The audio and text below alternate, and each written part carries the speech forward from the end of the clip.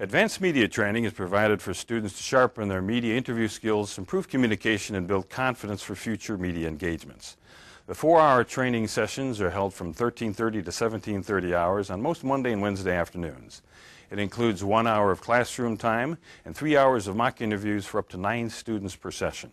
The training is held in the television studio at Eisenhower Hall. Each student will do three interviews a remote interview, a one on one broadcast interview, and a news conference. The remote interview simulates an interviewer in one city interviewing somebody in another city.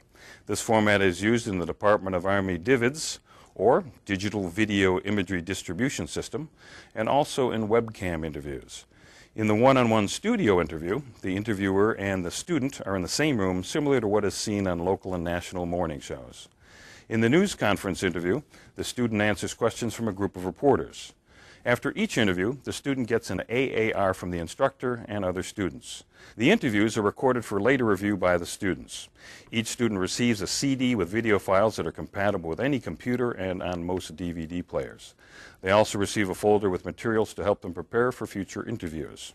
We look forward to seeing you at the CGSC Advanced Media Training.